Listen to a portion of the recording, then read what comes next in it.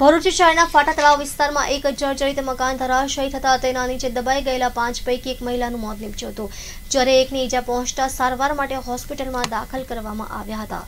ભરૂચ શહેરના ફાટા તળાવના મંદિર નજીકનું એક જર્જરિત મકાન મોડી રાત્રિએ ધરાશયી થતા તેમાં પાંચ વ્યક્તિઓ દબાયા હતા.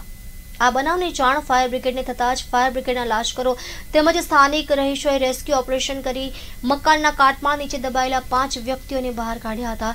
જોકે આ ઘટનામાં દબાયેલ ગયેલ પાંચ પૈકી એક વીસ વર્ષીય યુવતીનું ગંભીર ઇજાના કારણે મોત નીપજ્યું હતું. મારું નામ શૈલેષ સાંસિયા છે. ભરૂચ નગરપાલિકાના ફાયર એન્ડ ઇમરજન્સી શાખામાં લીડિંગ ફાયરમેન તરીકે ફરજ બજાવી.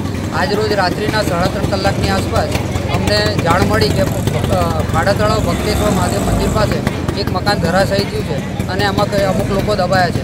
તાત્કાલિક ઘટના સ્થળે આવીને જોયું તો ત્રણ માણસો અંદર દબાયેલા હતા. એમને અમે તાત્કાલિક કાઢી અને સિવિલ મોકલી આપેલ છે. ત્યાર પછી એક જાણવા મળ્યું કે બેન પણ નીચે દબાયા છે. કાટમાળ હટાવતા અમને અઢી એક કલાકનો સમય થયો. એ અઢી કલાકમાં એ બેન મૃત્યુ મૃત્યુ પામેલ છે ને તેમની ડેડ બોડી કાઢી.